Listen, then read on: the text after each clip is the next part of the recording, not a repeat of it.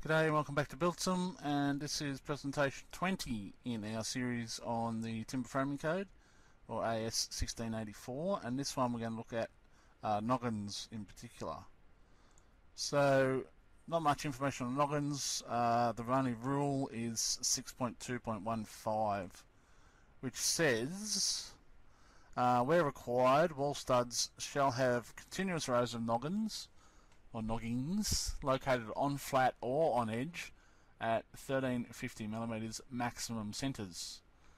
Noggins are not required to be stress graded uh, unless otherwise specified. The minimum noggin size shall be the depth of the stud minus 25 mil by 25 mil thick, or the noggin shall have a minimum cross section of 50 by 38 for unseasoned timber, or 42 by 35 for seasoned timber and shall be suitable where required for the proper fixing of claddings, linings and bracing.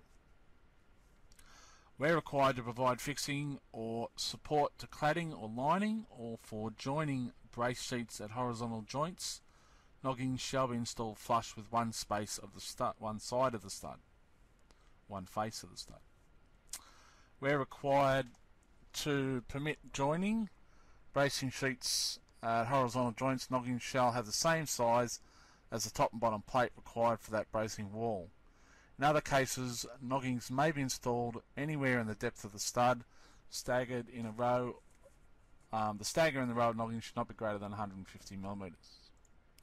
And here's a bit of a diagram from the timber framing code showing that. So you can see here, we have our noggin less 25 mil, um, and it's fixed to one side in case you've got bracing sheets on one side. It's the same thing on the edge, and that one's just centrally located.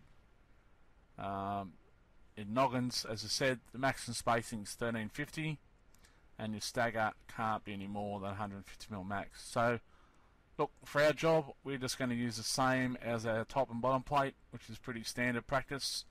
So we're going to use 70 by 45 for our noggins.